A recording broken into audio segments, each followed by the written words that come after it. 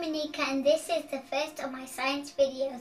Today I am going to talk about how the universe began with the Big Bang. Up till about 100 years ago everyone thought that the universe was fixed and unchanging.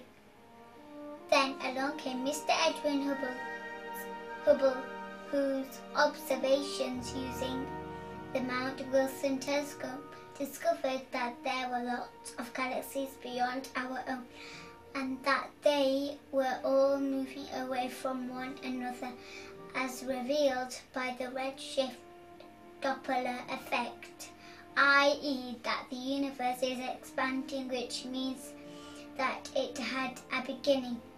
Bing, bang.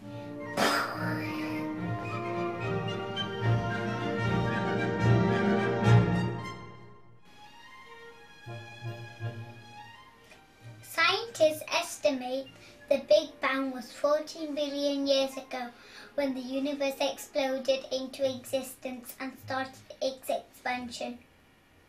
Now the Big Bang is not like any explosion you would imagine it because it is not matter is exploding but it matter the space that is expanding. It is like we are on the surface of a balloon that is expanding.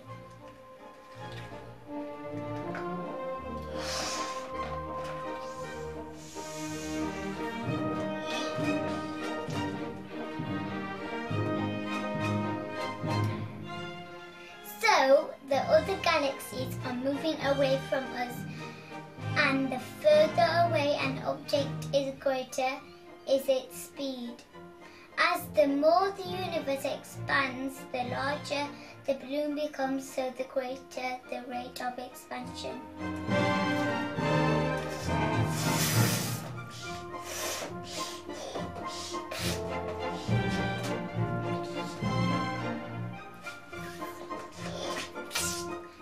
Again, it is space that is expanding, which also means that one day the universe will.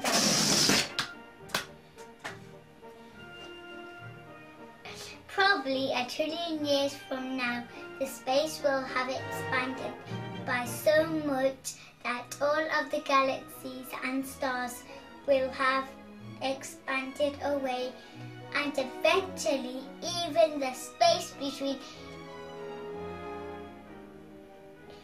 individual atoms will expand so that there will be nothing.